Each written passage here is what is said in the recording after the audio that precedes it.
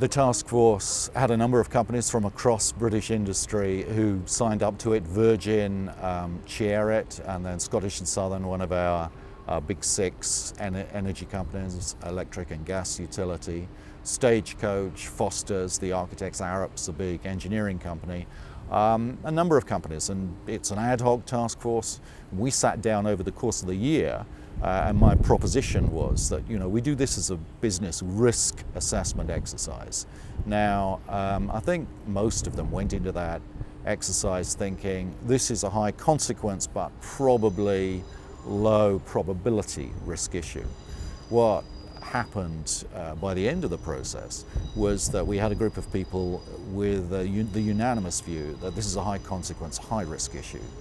Uh, and we produced the report that you've seen. Um, and basically, at the time, this is pre-crash, pre-financial crash, we were of the view that probably the descent from the peak would happen around 2013. Now, our work continues, and probably we're going to come to the conclusion later this year that the peak will have been, the descent will be pushed out a bit as a result of that. But this is, of course, um, I think the first instance I know of of a group of corporations, including big corporations, actually coming out with this warning. Um, we've tried to take it to the British government and elsewhere, and uh, I think we, we haven't had any great success yet. But we will keep trying to uh, blow the whistle, and um, I think that's you know, a useful role for, for the business world to be playing. The British government's response to the peak oil issue has been breathtaking. I mean, hugely irresponsible. We've had a number of meetings with uh, very senior people in government.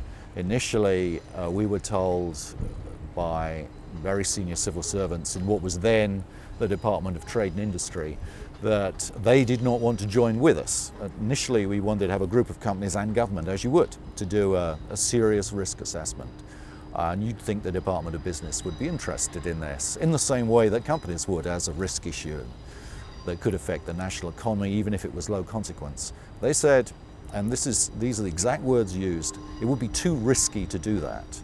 Uh, and their argument was, I could barely believe this, their argument was that, you know, basically there isn't any risk, Therefore, why do a risk assessment? Because if you do that, the risk is you might scare the horses unnecessarily. And this is an incredible thing. So latterly, uh, this was a couple of years ago, we did our work. After our work, they put together something called the Wicks Review, and it was done by a former minister, Malcolm Wicks. That was produced just a few months ago. It's a breathtaking document. It's well over 100 pages long. It has a couple of pages on peak oil. It dismisses it out of hand. It says that basically people who worry, I'm paraphrasing but accurately, people who worry about peak oil tend to overlook the fact that the price mechanism works, the oil price will go up, the companies will go out, they'll find oil. Pretty much end of story. Uh, we had a meeting with the officials who wrote that report. Indeed, we had a meeting attended by the former minister, Malcolm Wicks himself, uh, a number of companies from the task force. They ignored what we had to say. They ignored all the points we made in our report. They even ignore the existence of the task force. It's not even mentioned in the Wicks review itself. It takes my breath away. I thought at one point that, you know, nothing could ever surprise me again, but this episode has. And I think that, you know, um, this, is, this is gross irresponsibility uh, and a form of betrayal of national interests. And, and I think the, the, the people involved in this will, will really live to regret it.